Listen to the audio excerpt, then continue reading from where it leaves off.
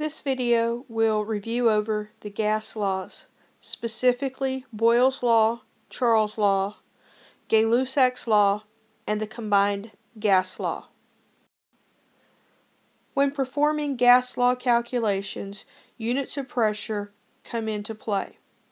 The following are conversions in units of pressure. One atmosphere equals 760 millimeters of mercury.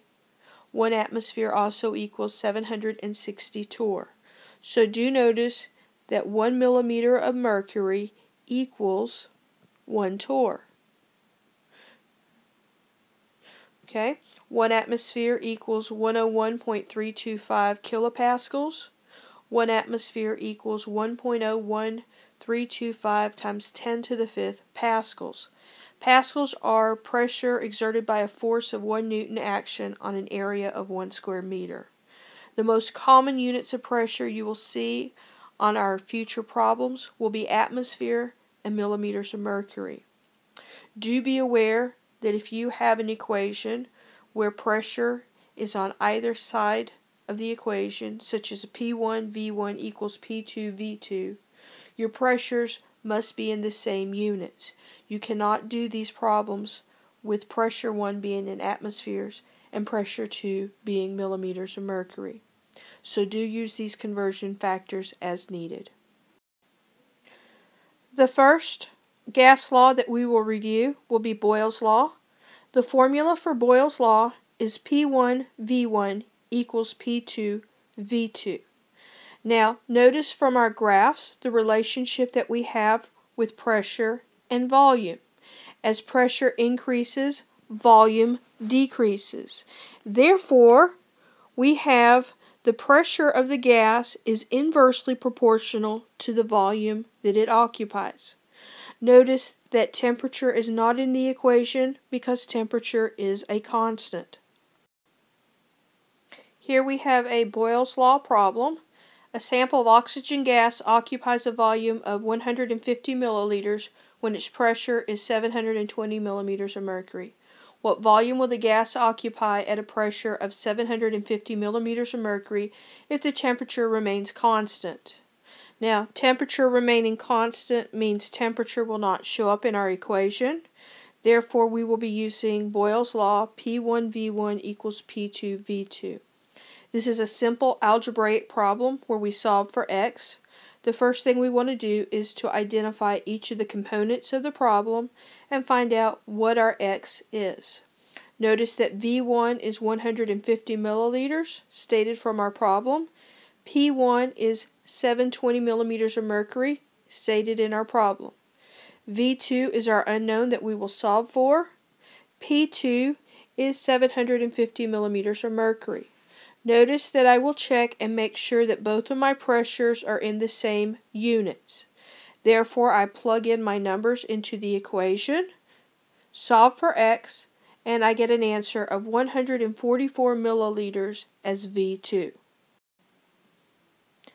Our second gas law that we will review over is Charles' law.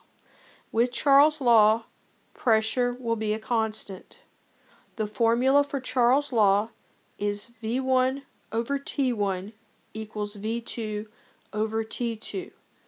Be aware that any equation that has temperature in it, as dealing with our gas laws, temperature must be in Kelvin.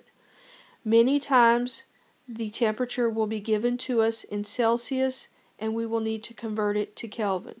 To do so, Kelvin equals Celsius plus 273. Here we have a Charles Law problem. A sample of carbon monoxide gas occupies 3.20 liters at 120 degrees Celsius. At what temperature will the gas occupy a volume of 1.5 liters if the pressure remains constant? Now, do you remember that uh, our equation we will be using is going to be V1 over T1 equals V2 over T2. Our volume 1 is 3.2 liters. Our volume 2 is 1.54 liters. Notice that our temperature was given to us in Celsius. We need to convert that to Kelvin. To do so, our Kelvin temperature will equal 125 plus the 273. And when we look at this, that works out to 398. T2 is our unknown. So we will solve our problem filling in 3.20, uh, 398, 1.54, x. We will do our equation, solve for x, and we get an answer of 192 degrees Kelvin. Our third gas law is Gay-Lussac's law. With Gay-Lussac's law, volume is the constant, and our formula will be P1 over T1 equals P2 over T2. As you work this problem, make sure that both pressures are in the same units, and make sure that your temperatures are both in Kelvin. Here we have a Gay-Lussac's law problem a gas con content of an aerosol can under pressure of 3 atmospheres at 25 degrees Celsius. What would the pressure of the gas in the aerosol can be at 52 degrees Celsius? Again, we have P1 over T1 equals P2 over T2. We identify our components. P1 is 3 atmospheres. P2 is our unknown we solve for. Notice that both of our temperatures are in Celsius. Even though both temperature is in Celsius, we must convert it to Kelvin in order for the equation to work. So our 25 plus 273 will be our formula here, and our 52 plus 273 will be our temperature there. We plug our numbers in, we solve for P2, and we get an answer of 3.25 atmospheres. Finally, the combined gas law combines Boyle's law, Charles' law, and Gay-Lussac's law. So we have an equation of P1V1 over T1 equals P2V2 over T2. The main thing to be aware of is that when doing these problems, make sure both pressures are in the same units Make sure both of your volumes are in the same units. Temperature must be in Kelvin. Here we have a combined gas law problem. A helium-filled balloon has a volume of 50 milliliters at 25 degrees Celsius and 820 millimeters of mercury. What volume would occupy at 650 millimeters of mercury and 10 degrees Celsius? Well, as we look at it, we have our P1, our V1, and our T1 we need to identify for. We have our P2, V2, and T2 that we need to identify. Well, if we look at this, we have a volume of 50 milliliters. We have our temperature at 25.